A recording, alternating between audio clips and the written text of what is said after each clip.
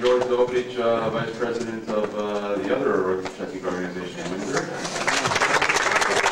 We have so many members of each organization. We have Father uh, Momir Petkovic from uh, Sveti Dechansky. Um,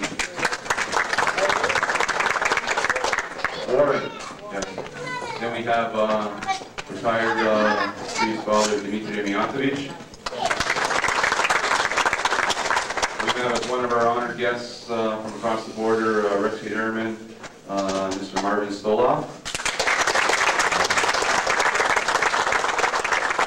Then we have uh, Captain Nikola Lalic. Executive producer of the documentary that we're here to raise funds for, Mr. Mike Shudovic. President of uh, Windsor Church here, Sveti Dimitri, uh, Mr. Darko Vucinic. Our parish priest here, uh, Father Milosevic. Vladimir Milosevic. And President of uh, Srpsko Narodna Odbrana branch here in uh, Windsor, Dr. Mihalovic, Mr. Borachuk. And myself, for those who don't know me, I'm Ilya Maldish. I'm uh, Vice President of this church and member of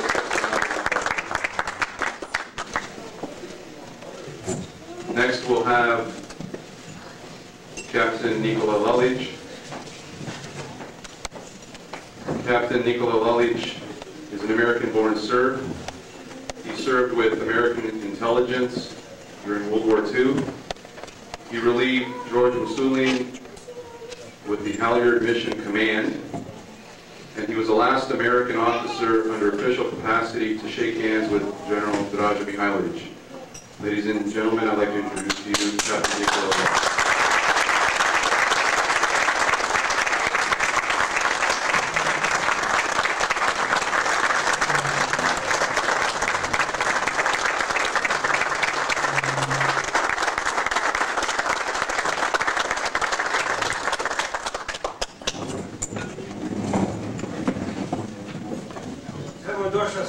kući opet.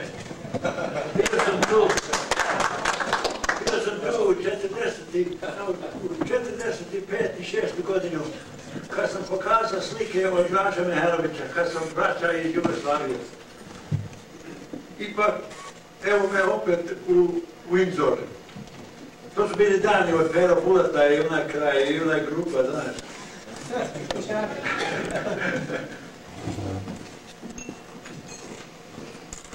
Naša clergy, poštovanje, Mijatrić, Miloševića i Petković.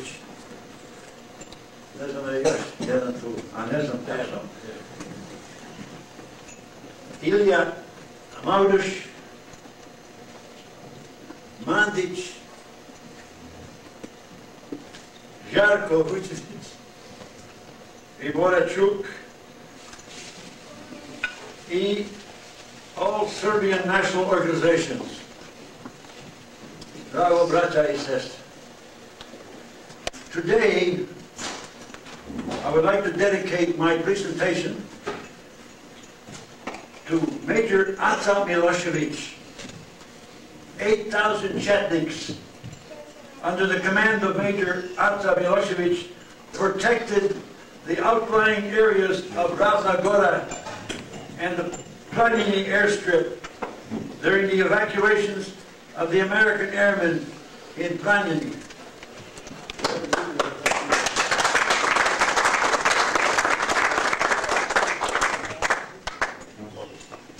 When all Europe lay under the boots of the Nazi, when all Europe was enslaved, the citizens forced to work to submit to the rule of the German Nazi one people, jedan narod, rose to defy the mighty war machine of the Axis.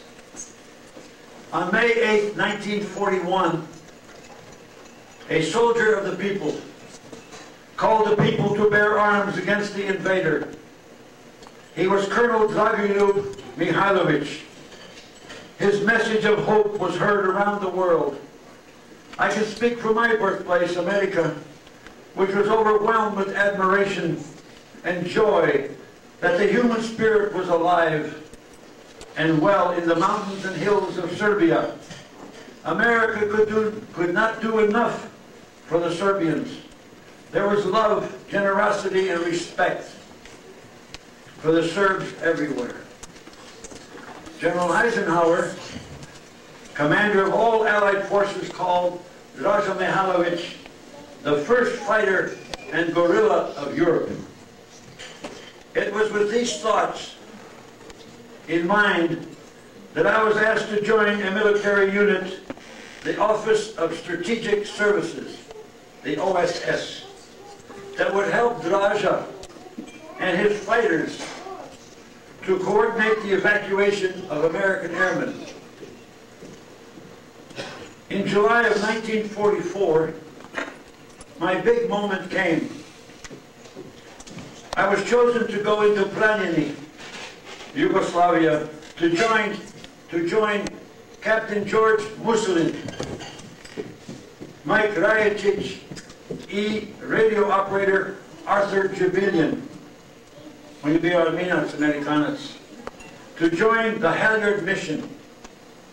Our task was to evacuate hundreds of American airmen and allies who had been saved by the Serbian Narod, Serbian people, and Serbian Chetniks of Draza Mihailović.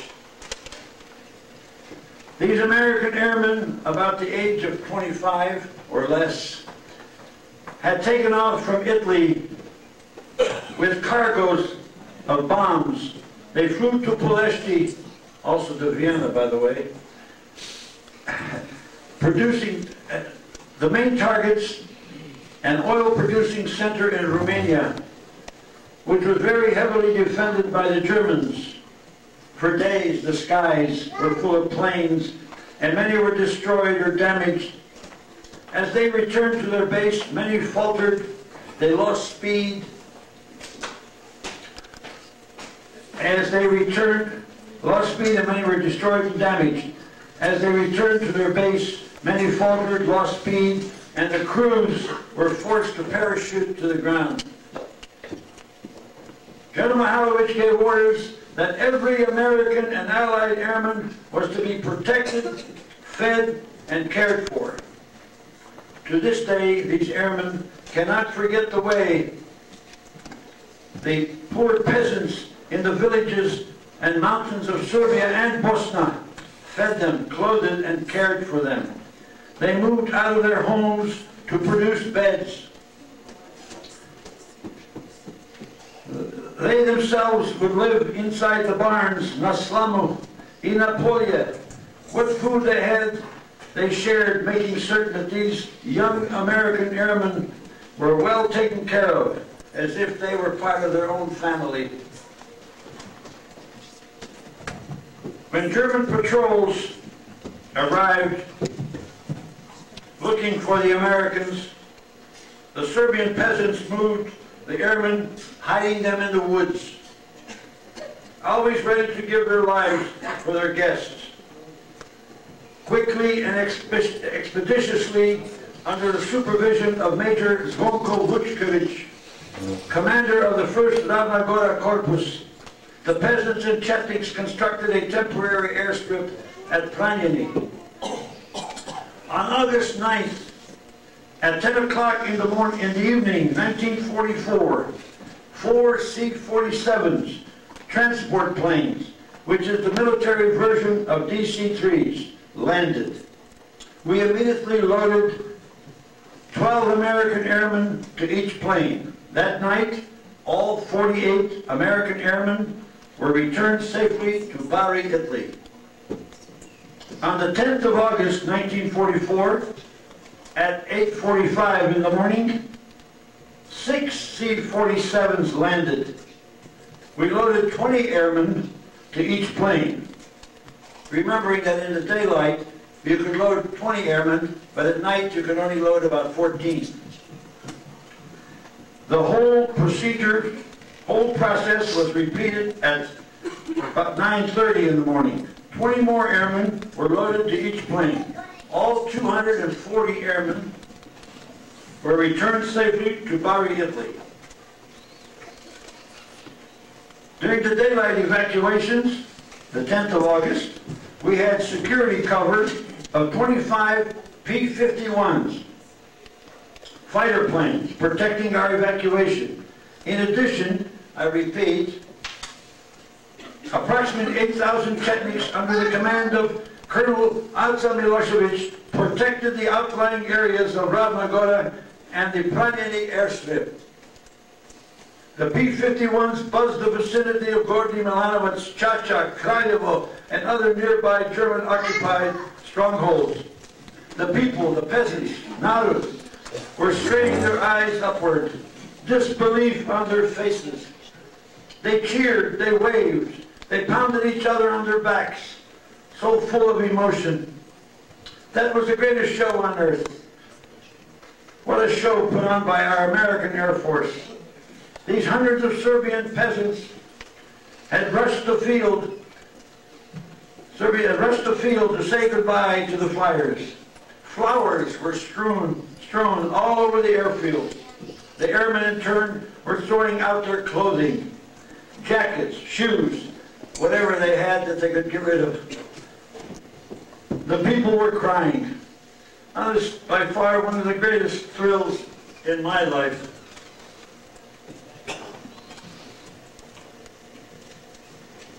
On September 6, 1944, it was King Peter's birthday. Kralj Petar rođendan. Proslava u Pranjeni. People all dressed up, cleaning everything. All of them were carrying flowers. Crowd in town, getting bigger by the hour. Captain Kalabic, old Chicapero on hand, with his thousands of Chetniks. A motley crew, barefooted, naked almost, and many without guns. But what a morale. Our OSS photographer, J.B. Allen, was taking pictures. Chicha, Draja, and Colonel McDowell arrived about 10.30 to be buried under flowers. People were crying. They were so happy. After the troop review and church services, we went out to Popovic's Polya to eat, drink, and listen to Chita's speech. What a terrific day. By the way, I sat across from Chicapero, Kalabic, and we were eating there, and he looked over at me and he says, Laliću, vidiš o kamu što jede jagnje i to tako kaže, to se govori. I agreed. I said, yes, that's like a gun, you know. That was his weapon. Strašan bio. On September 10th, 1944, we were headed for Koceljevo, our next airstrip that was to be built. We got wind this afternoon to get ready to move from Planina in case the partisans break through. From the Malyan Planina mountain, we decided to hide all of our landing equipment, lamps, etc., and leave Planina. Because our flyers were injured, we put them on horses. We struck out on foot, Pieshke. Partisans came around on our left flank of the Chetniks, left flank of the Chetniks, and started to push on toward our positions. So we kept moving, went on to Brajici, then decided to push on over the Suvobor mountain and over the Suvoborski pool. Remember the Malyan Planina and Suvobor are sort of together in line. A real grind, and on into Mionica. To je Mionica među Valjevo i Lazarević. Lazarević. All this while, Chicapero was protecting General Halovic's flank and rear guard. At Koceljevo, at the aerodrome, we evacuated 25 airmen. 25 airmen. Dr. Mitrani and his two aides, Colonel Dr. Carpenter, and our OSS photographer, J.B. Allen. It was a daylight evacuation with two DC-3s with cover above of 15 P-51s, fighter planes. The rescue of American airmen continued, went on for approximately three more months, from Planine to Koceljevo in Machva, across the Drina River at Badovinci over to Bosna. After the crossing of the Drina at Badovinci under extreme hardships, it was raining very heavily and difficult to cross into Bosna. We finally moved into Bjeline.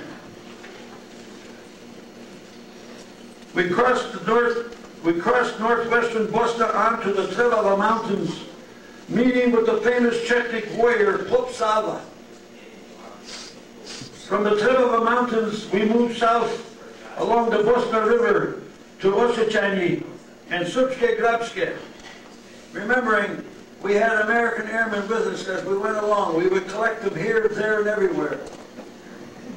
We then moved on to near Doboj.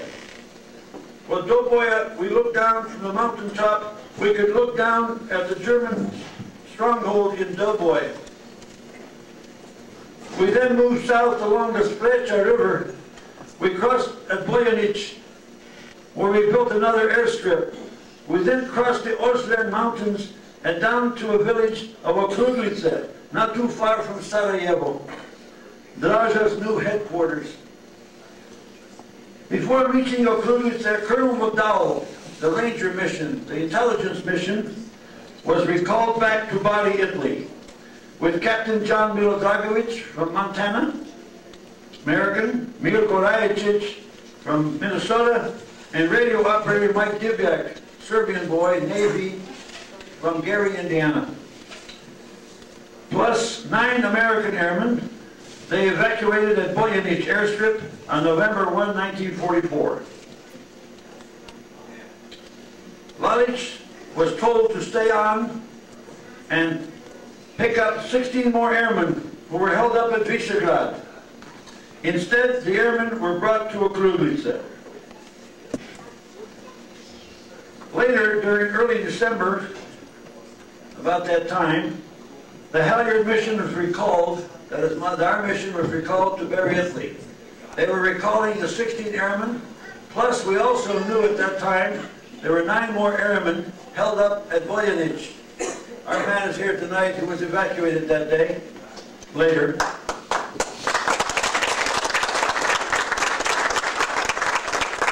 They proposed three possible ways of getting out. One was to go across the Bosna Reka and go on to Bugonya.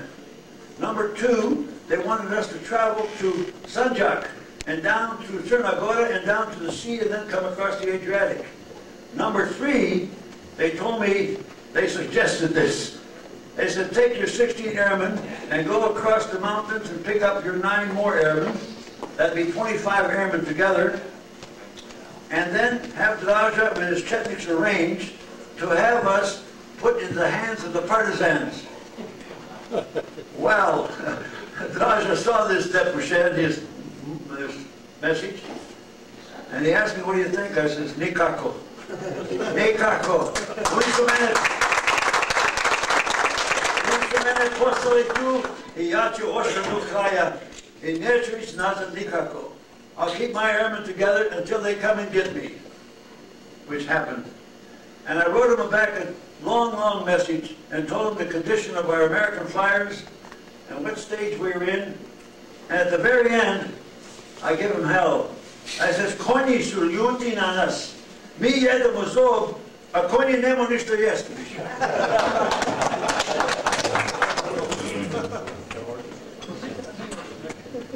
yeah. Oh, I should say that in English, yeah. The, the, this message I wrote back to headquarters to George Vujnovic. I said, George, the horses are mad at us. We're eating all their oats, and they haven't got no food. well, anyhow, they wrote back and says, okay, Lalich, you go like you suggest, and we'll come and get you sooner or later. I lived with Draza Mihailovich for almost five months. He was a man of down-to-earth simplicity, symbol of the simple, sturdy Serbian peasant resistance to tyranny, foreign and domestic. He believed and loved his church. Draža je uvek nosio bosiljak on his right jacket pocket. That in American is basil. It's our church flower and blessing homes, Vodica. He loved his soldiers and, and, and shared their hardships. He was truly a great man. His honesty, integrity, and straightforwardness. His techniques treated the American airmen like free men and allies. Draza had no political ambitions. All he wanted was a fair shake in a down-to-earth election. That was his basis for his Ravnagora Pokret. Vote for your king or vote for whomever else you desire. More so, he wanted a little touch of America in his own land. Remember also that in 1941 he got together with the opposition, the communists. An understanding to cooperate was in the offering by Draža, but it was evident that the communist doctrine was not was that they would not accept. Draža had no propaganda machine at that time, not until late 1944, and then it was too late. Draža told me that in his estimation, the two greatest Americans were Thomas Jefferson, who was the architect of our Constitution, and Abraham Lincoln, who with heavy heart fought to preserve the Union. Draza was a soldier who loved his people, who loved his native land. Before leaving Draza, I told him that I had a deputy in my hand, that the OSS headquarters had got permission from our American government via George Vujnovic in Bari, to bring Draza out of Yugoslavia if he cared to leave. He said to me, Lalichu, I will stay and share the faith of my people, whatever that may be. On kaže, ovo je moja, ovo je moj my people. Moja zemlja, my land. I ostaću do kraja. I will stay to the end. Unquote Draža.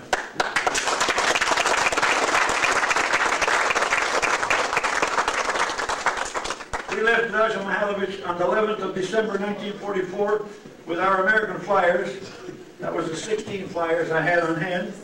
From the village of Kruglice, not too far from Sarajevo, Vareš, Ovo, Srednje, i Hans Pesak.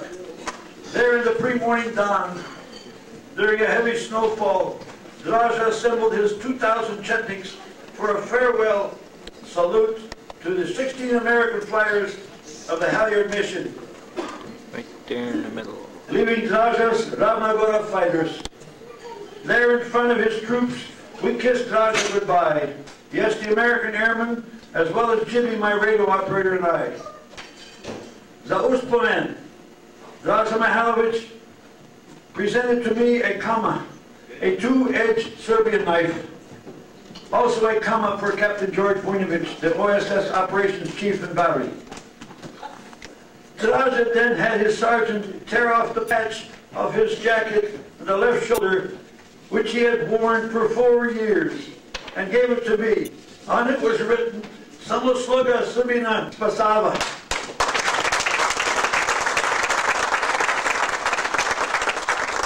With unity will the Serbs survive. In turn, I had to give Draza something.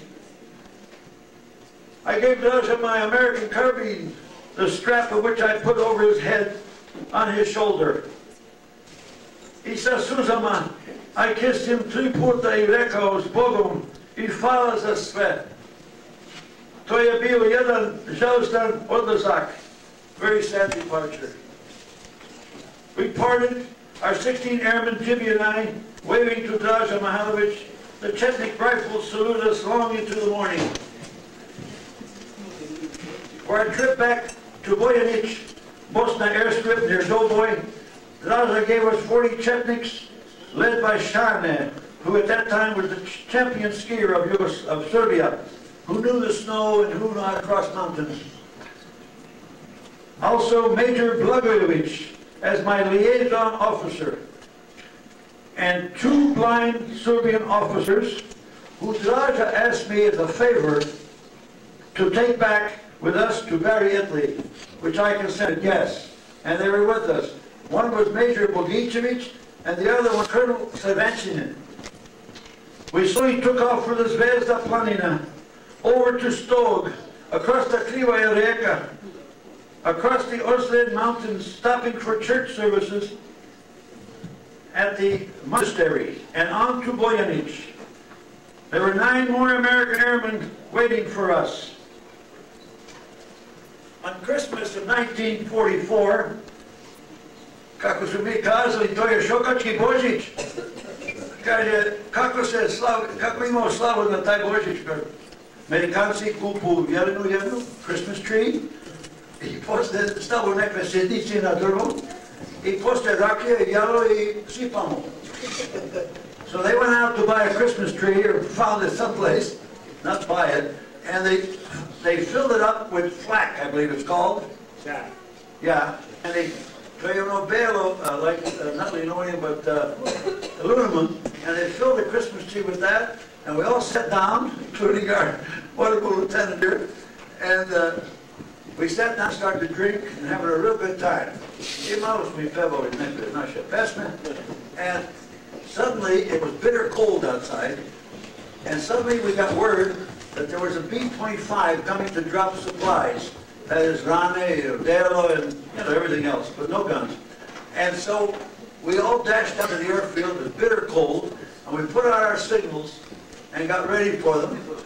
Već su se napeli, znaš.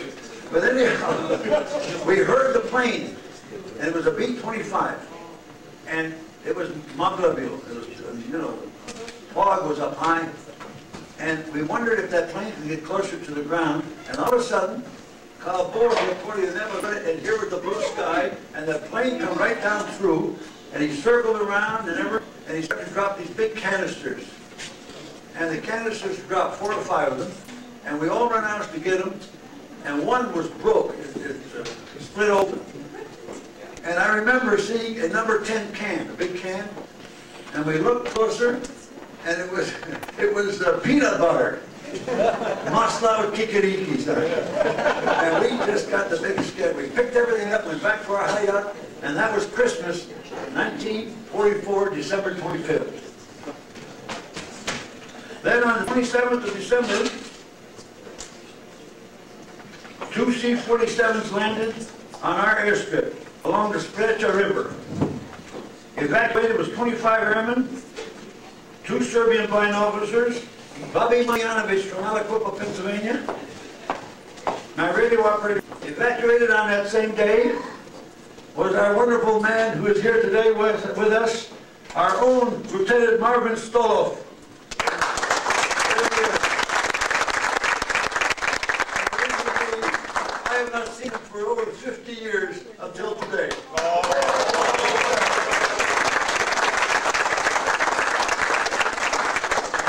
Marvin is here with us this evening. Marvin is one of the nine, nine airmen who landed in the near vicinity of our Bojanic airstrip south of Doboj.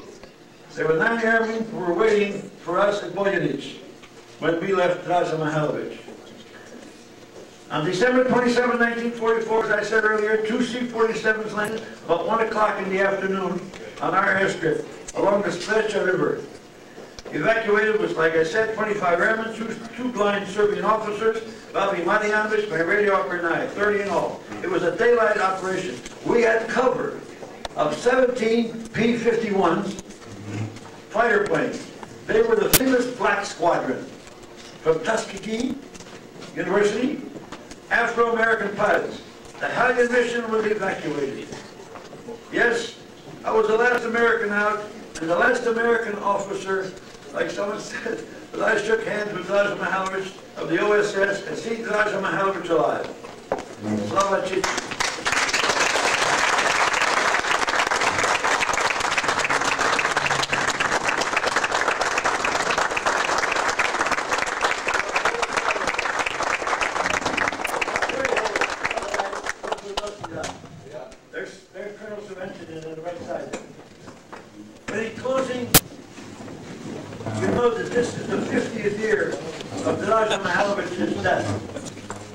shot by a firing squad in Belgrade after the trial. I would like to relate to you people two items of importance. Number one, a message that was sent to the Allies from Draza Mihailovich in 1944, and Draza's, and number two, Draza's last words and sentences of his speech at the close of his trial in Belgrade in 1946. First, the message. The Army and Serbian people are naked, barefoot, and hungry. Unless help is given, all the Serbs will perish. In what way did the innocent Serbian people sin against God and against their allies that they should be so punished? Is there nowhere a friend who will raise his voice? The Serbs would rather perish than submit to a communist command or embrace communism. Number two, the last words at the trial in Belgrade, the last sentences of his speech, which were so honest, so wise, and so mild. Draza said, I wanted nothing for myself. I never wanted old Yugoslavia, but had, but I had a difficult legacy. I had against me a cooperative, competitive organization, a party which seeks its, seeks its aims without compromise. I believe I was on the right road and called on my foreign journalists or Red Army missions to visit me and see everything. But faith was merciless to me when it threw me into this turmoil and whirlpool. I wanted much. I started much. But the guilt of the world carried away me and my work. Yes, indeed. Yes, indeed. This man Mihailovich was a good man. And like all of us Serbians here today, we are all loyal to him. We take the side of God, good against evil. Slava Cici.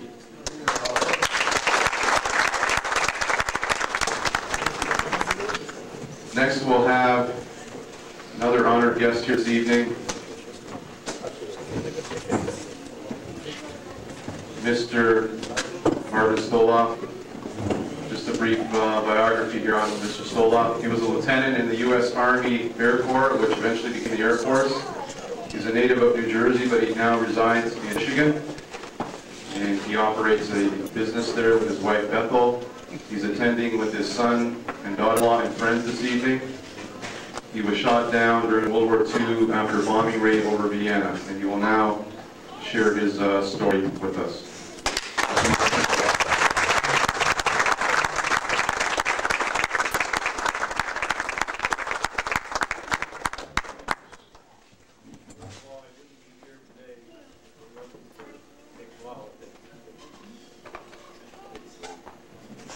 Probably my son wouldn't be here, or my grandchildren, so I thank him belatedly for his contribution to my life. Uh, As was said, I was the second lieutenant navigator on the B-24 on a mission to Vienna. Uh, On our bomb run, we were hit directly by flak tore a big hole in the waist of the plane, killed one man, wounded two, knocked out the electrical system, all the controls, rudder and uh, elevator. And we immediately dropped out of the formation before we went into a dive. And the ability of the pilot kept us from continuing that dive into the ground. We shoved the throttle airspeed, and leveled off. And we went about trying to maintain flight for a period of time. And uh, I was administering first aid to the two wounded men. Uh, we, our oxygen was shot out besides the electrical system.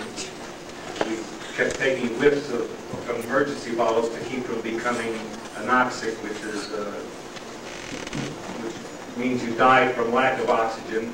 The pilot then uh, was able to, we started out from the bottom at 22,000 feet, and that's a dangerous altitude without oxygen. So he got us down to about 17,000 feet by easing back on the throttles. The nose would go down. Before went into a dive, he shoved the throttles forward because he had no elevator to maintain an attitude, if you understand anything about flying. And he was able to maintain flight for an hour until we got over Yugoslavia. At that point, because of the gas leak in the engines, two of the engines were out on one side, and because he had no rudder, we couldn't counteract the dead engine, so the plane started to wind up. And he called for uh, time to bail out. I was 20 years old, you know, and wars are fought mostly by young people. And the reason they are is because young people are immortal. And it's never going to happen to them until it does. And when he said it was time to bail out, I looked down that 15,000 feet out of the bomb bay and said, not me. and, uh, but then when I saw the pilot climbing out of his seat, I guess I had no choice. And uh,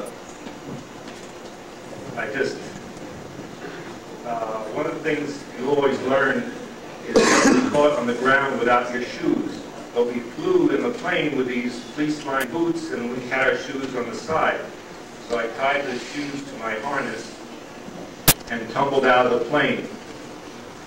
And the slipstream caught those shoes and just ripped them off the harness. I went reaching for them while I'm tumbling through the air. I never did catch them. At any rate, uh, at five mi- uh, yeah, three miles up, uh, I pulled the string, nothing happened. I lift up the flap and start yanking, and the chute pops.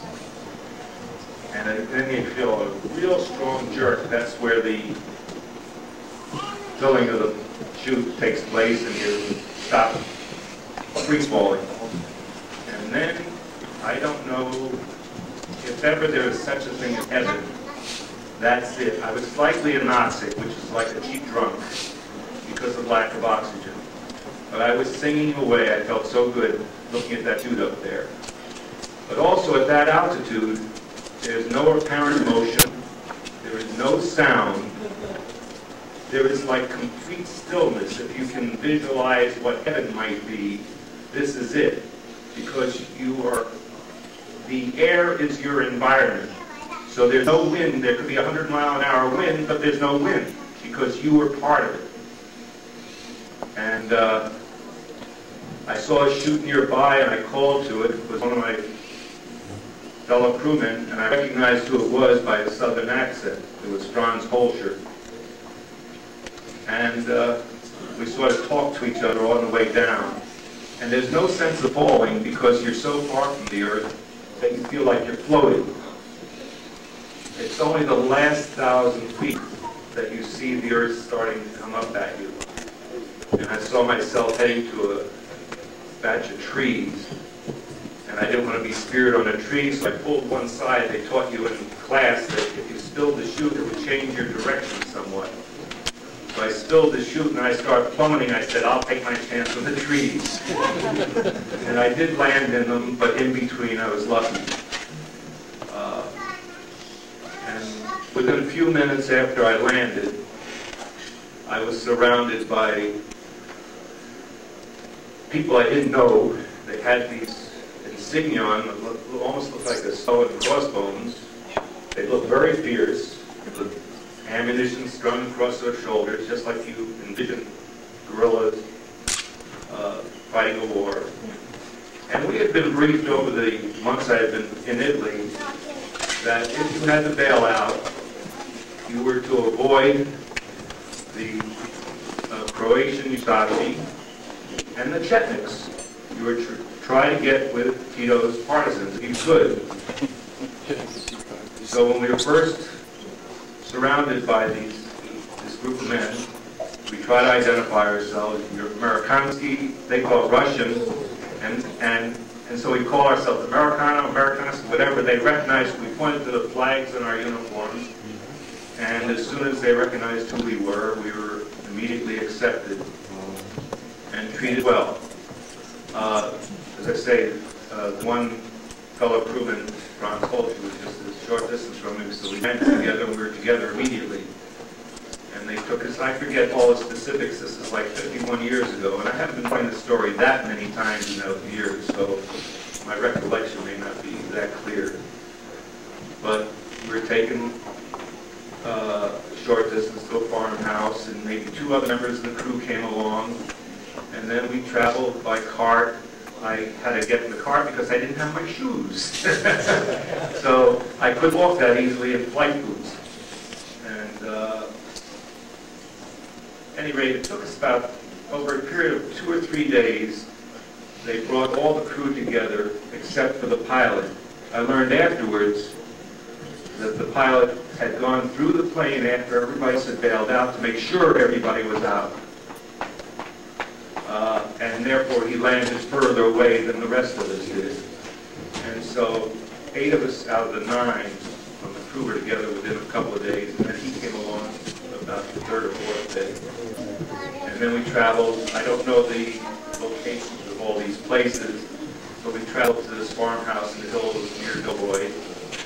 And they wanted to separate us, but we decided we wanted to stay together. And we all stayed in this one-room farmhouse, slept on straw bed. And we stayed there for that 40 days.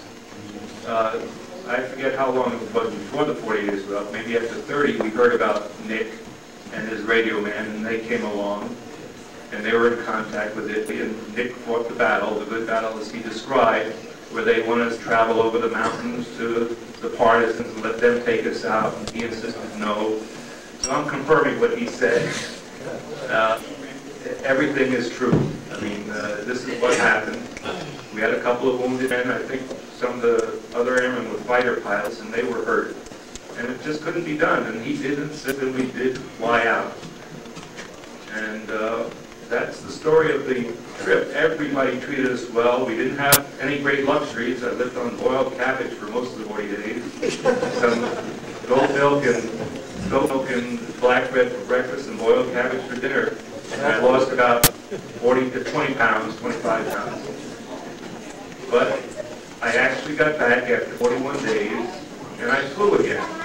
I just realized afterwards, I just read something, that I was in a catch-22 situation. If you were MIA for 42 days, which is six weeks, you didn't have to fly again. I was MIA for 41 days. So, while I was shot down on my 27th mission, you're supposed to fly 35, I ended up flying those 35. I went back and completed my tour.